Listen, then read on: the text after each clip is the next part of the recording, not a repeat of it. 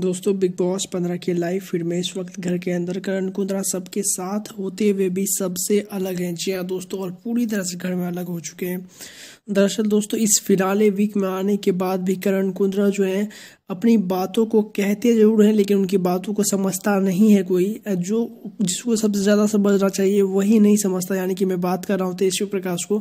कितने देर से करण कुंद्रा ने कोशिश की कि तेजस्वी समझे उनकी बात किस तरह से उनको सिर्फ़ वो प्रोटेक्ट करना चाहते लेकिन ये समझने के बजाय तेजस्वी उल्टे उन पे ही बरस गई, बहसबाजी हो गई और उसके बाद करण अकेले ही आपको बता दूँ कि घूमते हुए नज़र आए।